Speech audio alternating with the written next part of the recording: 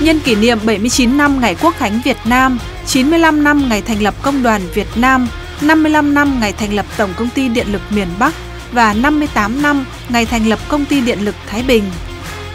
Được sự đồng ý của Đảng ủy, Giám đốc công ty và Ban Thường vụ, Công đoàn Công ty Điện lực Thái Bình thống nhất triển khai kế hoạch tổ chức giải Pickleball năm 2024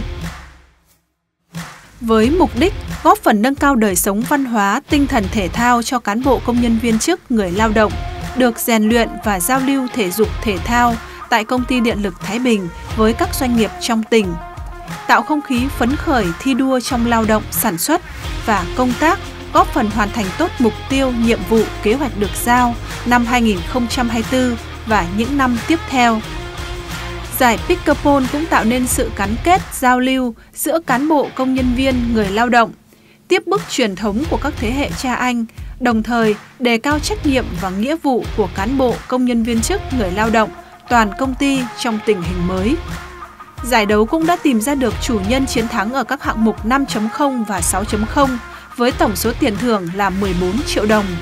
Đây cũng là giải đấu đem lại nhiều niềm vui, sự phấn khởi và kết nối bền chặt cho cán bộ công nhân viên với các đối tác doanh nghiệp trong tỉnh.